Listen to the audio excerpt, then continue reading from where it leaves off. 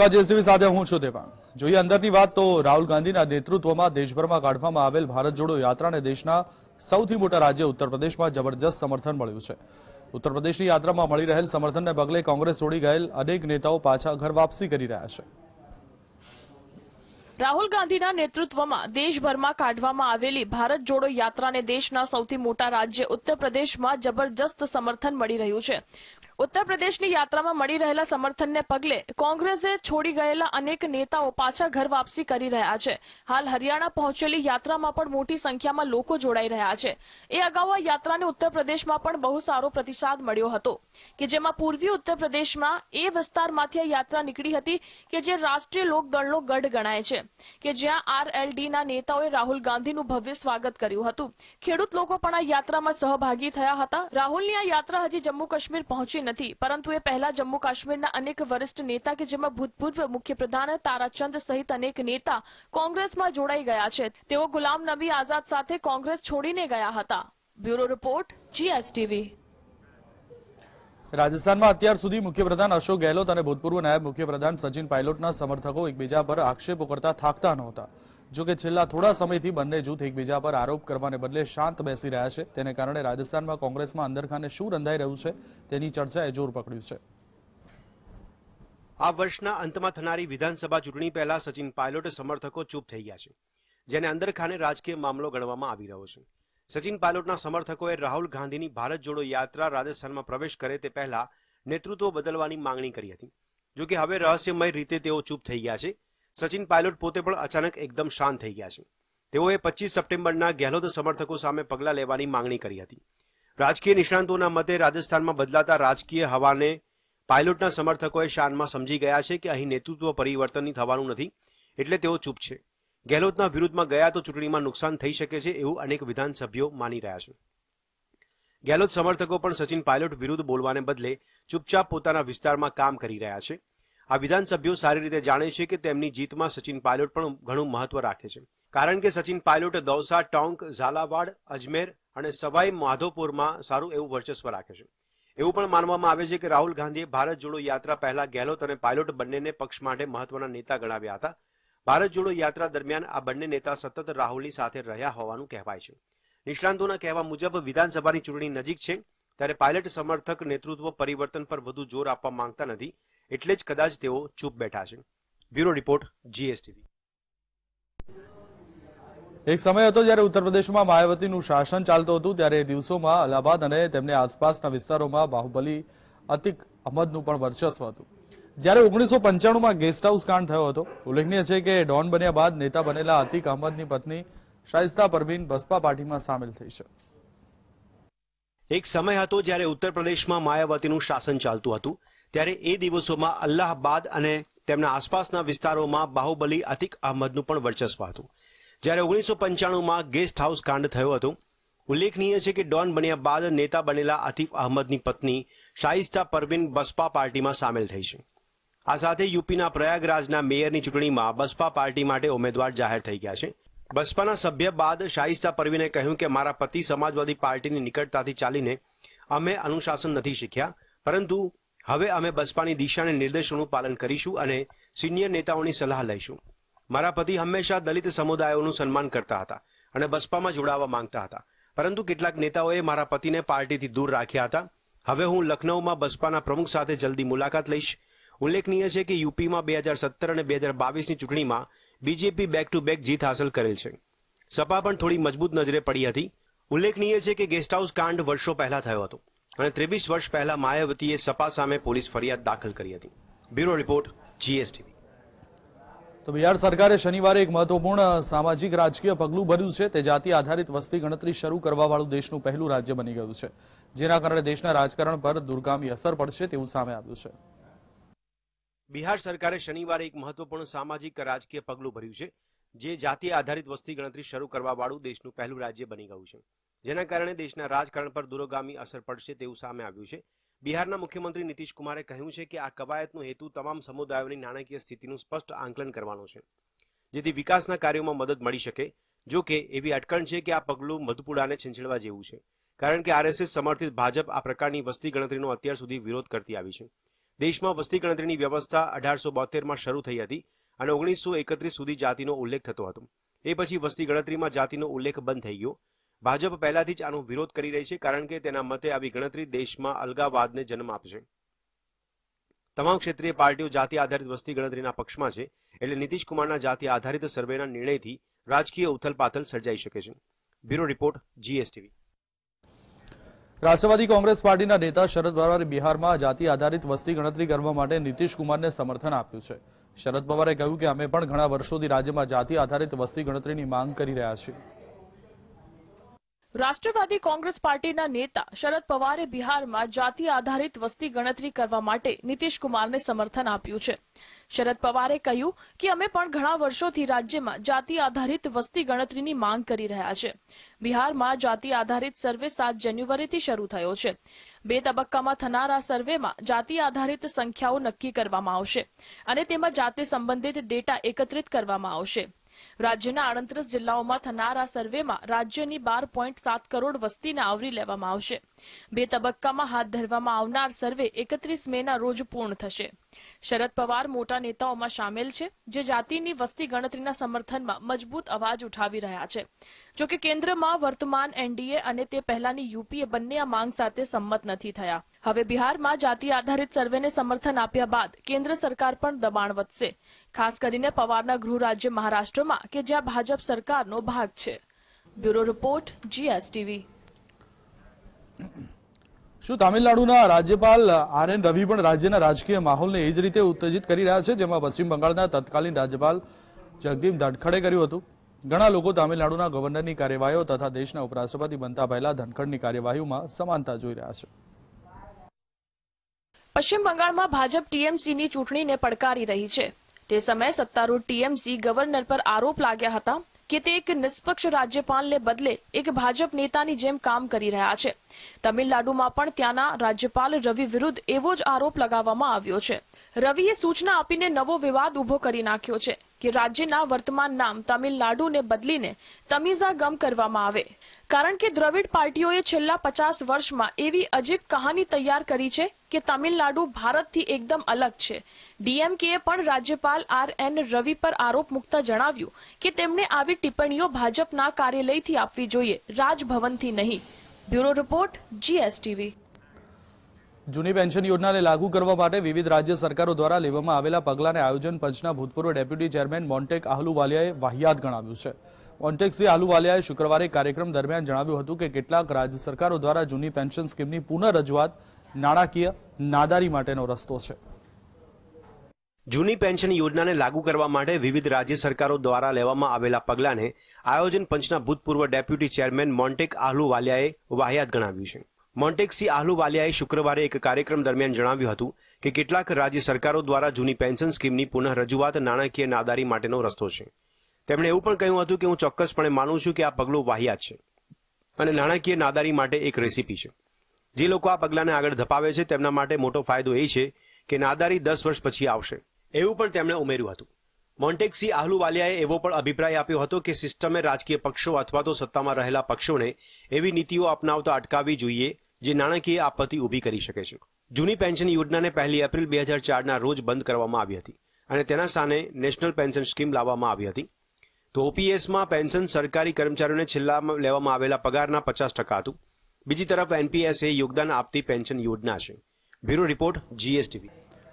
Welcome back. આગળ વાત કરીએ તો કોંગ્રેસ નેતા રાહુલ ગાંધીની ભારત જોડો યાત્રા ઉત્તર પ્રદેશમાંથી પસાર થઈ આ યાત્રામાં અખિલેશ કે માયાવતી કોઈ સામેલ થયા નથી. તેમ છતાં કોંગ્રેસ પાર્ટી ઉત્સાહિત દેખાઈ રહી છે. તેનું સૌથી મોટું કારણ લોની બોર્ડરથી કેરાના સુધીની યાત્રામાં મોટા પાયે સામેલ થયેલા મુસ્લિમોની ભીડ છે. કોંગ્રેસ નેતા રાહુલ ગાંધીની ભારત જોડો યાત્રા ઉત્તર પ્રદેશમાં પહોંચવાની તૈયારીમાં છે. આ યાત્રામાં અખિલેશ કે માયાવતી કોઈ સામેલ થયા નથી. તેમ છતાં કોંગ્રેસ પાર્ટી ઉત્સાહિત દેખાઈ રહી છે. તેનું સૌથી મોટું કારણ લોની બોર્ડરથી કેરાના સુધીની યાત્રામાં મોટા પાયે સામેલ થયેલા મુસ્લિમોની ભીડ છે. કોંગ્રેસના એક નેતાએ કહ્યું કે પશ્ચિમ યુપીના જે જિલ્લામાંથી ભારત જોડો યાત્રા નીકળી, તેમાં મુસ્લિમ વસ્તી ઘણી છે. મદ્રેસાના બાળકોથી લઈને બુરખા પહેરેલી મહિલાઓ સુધી તમામ રાહુલ ગાંધી સાથે ચાલતા જોવા મળ્યા. રાજકીય વિશ્લેષક સૈયદ કાસિમે કહ્યું કે રાહુલ બીજેપી, આરએસએસ પર સતત હુમલો કરીને મુસ્લિમ સમુદાય સુધી પહોંચવાનો પ્રયત્ન કરી રહ્યા છે.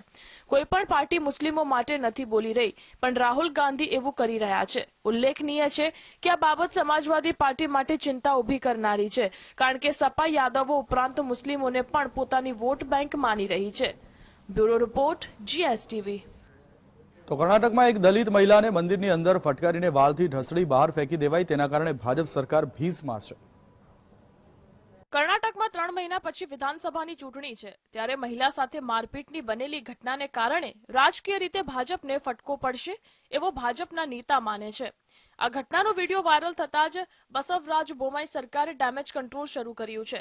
પણ સોશિયલ મીડિયામાં ઠલવાઈ રહેલા આક્રોશના કારણે ભાજપ ચિંતામાં છે. ભાજપના નેતા એવો બચાવ પણ કરી રહ્યા છે કે મહિલાએ દાવો કર્યો હતો કે તેના લગ્ન મંદિરમાં ભગવાન સાથે થયા હોવાથી ભગવાનની મૂર્તિની બાજુમાં બેસવા માંગે છે. તેને વારંવાર જતા રહેવા કહેવાયું, પણ મહિલાએ અપશબ્દો કહેતા મારપીટ થઈ હતી. આ મહિલાએ અમૃતહલ્લી પોલીસ સ્ટેશનમાં લક્ષ્મી નરસિંહ સ્વામી મંદિરના ધર્મદશી મુનિ કૃષ્ણ સામે ફરિયાદ નોંધાવી છે. Bureau report, GSTV. જમ્મુ કાશ્મીરના રાજૌરીમાં હિન્દુઓને એક એક કરીને ખતમ કરવાના મામલામાં સરકારે આતંકવાદીઓ વિરુદ્ધ એક્શન લીધો છે. ગૃહ મંત્રાલય તેના દેશમાં જૈસે મોહમ્મદના ગુર્જે અરબાઝ અહમદ મીરને આતંકવાદી જાહેર કર્યો છે. સરકારે જાહેર કરેલ આતંકવાદી વિશે જાણીએ તેનાથી સાવધાન રહીએ. સરકારે જૈસે મોહમ્મદના પ્રોક્સી સંગઠન પીએએફએફ ઉપર પ્રતિબંધ લગાવી દીધો છે. આ પહેલા સરકારે ટીઆરએફને પણ પ્રતિબંધિત કર્યું હતું. જૈસે મોહમ્મદના ગુર્ગે અરબાઝ અહમદ મીર જમ્મુ કાશ્મીરનો જ રહેવાસી છે અને તેની ગલી ગલીથી તે વાકેફ છે. તે ટાર્ગેટ કિલિંગ તેનું કામ છે. રજનીબાલાની હત્યામાં મુખ્ય કાવતરું ગણનાર આ જ હતો. આતંક પરસ્ત પાકિસ્તાન તેનું ભરણ પોષણ કરે છે. અને સીમા પારથી અવૈધ હથિયારો અને દારૂગોળા સપ્લાય કરવાના મીરનું એક કામ છે. ભારત સરકાર અરબાઝ અહમદ મીરને આતંકી ઘોષિત કરી ચૂકી છે. મીર જૈસે મોહમ્મદનો ટ્રેન્ડ આતંકવાદી છે, જે ઘાટીમાં ભય ફેલાવવાનું કામ કરે છે. આતંકવાદી અને પાકિસ્તાન વચ્ચે મધ્યસ્થનું કામ મીર કરે છે. આ ઉપરાંત સરકારે અનેક કલમો હેઠળ મીર વિરુદ્ધ ગુનો પણ દાખલ કરેલો છે. પાકિસ્તાન અને આતંકવાદીઓ હંમેશા તેના ટાર્ગેટ ઉપર ભારતને રાખે છે. જો હવે ભારતે પણ ઈંટનો જવાબ પથ્થરથી આપવાનું શરૂ કરી દીધું છે, જેના કારણે પાકિસ્તાનમાં ડરનો માહોલ ફેલાયેલો છે. પરંતુ પાકિસ્તાન તેની નાપાક હરકતો બંધ કરતું નથી. બ્યુરો રિપોર્ટ જીએસટીવી તો એક પુસ્તકમાં અજીત ડોભાલ અને એમ કે નારાયણની જાસૂસી વિશે ઉલ્લેખ કરવામાં આવ્યો હતો. આ પુસ્તકમાં તેમણે એમ કે નારાયણ અને અજીત ડોભાલની કાર્યશૈલી પર પોતાનો અભિપ્રાય વ્યક્ત કર્યો છે. તુલતે કહ્યું કે મેં દિલ્હી હેડક્વાર્ટરમાં ઇન્ટેલિજન્સ બ્યુરોના ડેસ્ક પર વિશ્લેષક તરીકે ચાર વર્ષ વિતાવ્યા છે. ત્યારે મને નોર્થ બ્લોકમાં એમ કે નારાયણ સાથે રૂમ શેર કરવાનો મોકો મળ્યો હતો. એએસ દુલતના અનુસાર તેણે નારાયણ પાસેથી સિક્રેટ માહિતીનું વિશ્લેષણ શીખ્યું હતું. તેમણે તેમની પાસેથી એ પણ શીખ્યા કે દરેક ઉત્સાહી ગુપ્તચર અધિકારીના રિપોર્ટને કેવી રીતે ટોન ડાઉન કરવું. નારાયણને એમ પણ શીખવ્યું કે જો શક્ય હોય તો તમારે જે કહેવું હોય તે એક જ પેજ પર કહો. વધુમાં કહ્યું કે નારાયણની નજર હંમેશા તેજ હતી. જો કે દુલતથી ઘણા સિનિયર હતા, તે તેને પહેલા જ સમજાઈ ગયું હતું કે તેના બોસ આર કે ખંડેલવાલથી બહુ ખુશ નથી. બીજી બાજુ નારાયણના જમાનામાં અજીત ડોભાલ પણ એક ઉભરતા સ્ટાર હતા. અજીતને ઉત્તર પૂર્વમાં મિઝોરમમાં કામ કરવા માટે મોકલવામાં આવ્યા ત્યારે બધાની નજર પડી હતી. બે હજાર છમાં ડોભાલે એક ઇન્ટરવ્યૂ આપ્યો હતો જેમાં તેણે કહ્યું હતું કે એકવાર મેં લાલ ડેંગાના મિઝો નેશનલ ફ્રન્ટના બળવાખોરોને મારા ઘરે ભોજન માટે આમંત્રણ આપ્યું હતું. તેમની પાસે ભારે હથિયારો હતા. મેં તેમને ખાતરી આપી કે તેઓ સુરક્ષિત રહેશે. પત્નીએ તેમના માટે ડુક્કરનું માંસ રાંધ્યું હતું, જો કે તેણે પહેલા ક્યારેય ડુક્કરનું માંસ રાંધ્યું ન હતું. ત્યારબાદ ઓગણીસો અઠ્યાસીમાં ઓપરેશન બ્લેક થંડર બેમાં ડોભાલની ભૂમિકાએ તેમની ખ્યાતિમાં વધારો કર્યો હતો. તેમના જીવન ચરિત્રકારો કહે છે કે જ્યારે ઉગ્રવાદીઓ સુવર્ણ મંદિરમાં પ્રવેશ્યા ત્યારે ડોભાલ પણ ગુપ્તચર તરીકે મંદિરમાં પ્રવેશ્યા હતા. એક અખબારમાં પ્રકાશિત થયેલા અજીત ડોભાલની જીવન ચરિત્રમાં યતીશ યાદવે લખ્યું છે કે ઓગણીસો અઠ્યાસીમાં અમૃતસરના રહેવાસીઓ અને સુવર્ણ મંદિરની આસપાસ રહેતા ખાલિસ્તાની લડવૈયાઓએ એક વ્યક્તિને રિક્ષા ચલાવતો જોયો હતો. તેણે ખાલિસ્તાનીઓને ખાતરી આપી હતી કે તે આ જ સંસ્થાનો સભ્ય છે. આઈએસએ તેમને મદદ કરવા માટે ખાસ મોકલવામાં આવ્યા છે. ઓપરેશન બ્લેક થંડર શરૂ થયાના બે દિવસ પહેલા રિક્ષા ચાલક સુવર્ણ મંદિરમાં પ્રવેશ્યા અને મહત્વપૂર્ણ માહિતી લઈને બહાર આવ્યા હતા. તેથી તેને જાણવા મળ્યું કે મંદિરની અંદર કેટલાક ઉગ્રવાદીઓ છે. નરેન્દ્ર મોદી જ્યારે વડાપ્રધાન બન્યા ત્યારે રાષ્ટ્રીય સુરક્ષા સલાહકાર માટે હરદીપ પુરીનું નામ સૌથી પહેલા લેવામાં આવ્યું હતું. પરંતુ ભાજપમાં અરુણ જેટલી સિવાય બીજું કોઈ તેમનું સમર્થક નહોતું. આખરે નરેન્દ્ર મોદીએ અજીત ડોભાલના નામ પર પોતાની મહોર લગાવી દીધી હતી. રસપ્રદ વાત એ છે કે અજીત ડોભાલને ભાજપના વિરોધી કોંગ્રેસના કાર્યકાળ દરમિયાન ઇન્ટેલિજન્સ બ્યુરોના પ્રમુખ બનાવવામાં આવ્યા હતા. Bureau report, GSTV. તો એર ઇન્ડિયાની ફ્લાઇટમાં મહિલા ઉપર પેશાબ કરવાના મામલાના દસ દિવસમાં જ વધુ એક ગંભીર બાબત સામે આવી છે.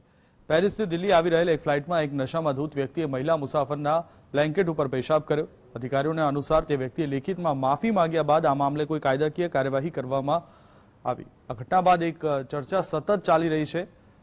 આંતરરાષ્ટ્રીય ફ્લેટમાં દારૂ શા માટે પીરસવામાં આવે છે? આંતરરાષ્ટ્રીય ફ્લાઇટમાં દારૂ શા માટે પીરસવામાં આવે છે? આ સવાલનો જવાબ મેળવવા માટે અનેક શોધ અને સંશોધનો થઈ રહ્યા છે. ત્યારે તેમાંથી ક્યાંક જાણવા મળ્યું છે કે ફ્લાઇટ દરમિયાન એંશી ટકા મુસાફરો દારૂનું સેવન કરે છે. આ ઉપરાંત નેવું ટકા મુસાફરો ફ્લાઇટની રાહ જોતી વખતે દારૂનું સેવન કરે છે, જેના કારણે ફ્લાઇટમાં ઝઘડાઓ થાય છે અને કેટલીક વાર તો યૌન હુમલા પણ થતા રહે છે. આ બધા વચ્ચે ફ્લાઇટમાં દારૂ શા માટે પીરસવામાં આવે છે?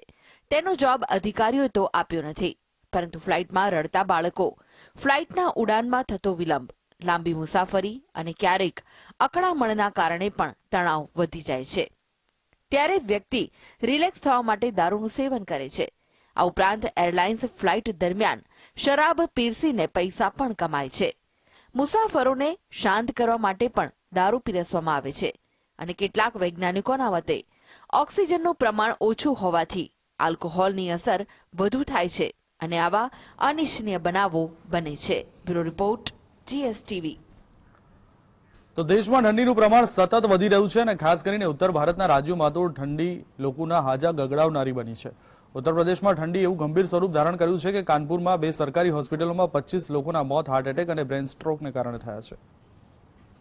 નવા વર્ષની શરૂઆત સાથે સમગ્ર ઉત્તર ભારતમાં ઠંડીનો પારો પણ આસમાને પહોંચી ગયો છે. ક્યારેક સવાલ થાય છે કે ઉત્તર ભારતમાં આટલી ઠંડી પડવાનું કારણ શું છે? તો તેનો જવાબ મેળવીએ. હવામાન વિભાગના નિષ્ણાંતો અને વૈજ્ઞાનિકો અનુસાર જળવાયુ પરિવર્તનના કારણે દરેક ઋતુનો વ્યવહાર બદલાતો જોવા મળી રહ્યો છે. માનવીય ગતિવિધિઓના કારણે પણ ક્લાઇમેટ ચેન્જ થઈ રહ્યું છે. ભારતની મોટા ભાગની ભૂમિ ઉત્તર ગોળાર્ધમાં સ્થિત છે. જેના કારણે ઉત્તર ભારતના મોટા ભાગના રાજ્યોમાં ઠંડીનો અનુભવ વધારે થાય છે. વધુ ઠંડી પડવાના કારણે ત્યાં એક અક્ષાંશ રેખા પણ છે. આ રેખાનો ઉપયોગ કોઈ પણ દેશની ભૌગોલિક સ્થિતિને બતાવવા માટે થાય છે. લેટિટ્યુડમાં આવતા સ્થળોમાં બરફ વર્ષા સામાન્ય બાબત છે. નાનપણથી આપણને ભણાવવામાં આવે છે કે તમામ ગ્રહ સૂર્યની ચારે તરફ પ્રદક્ષિણા કરે છે અને દરેક ગ્રહ પોતાની ધરી ઉપર ફરે છે.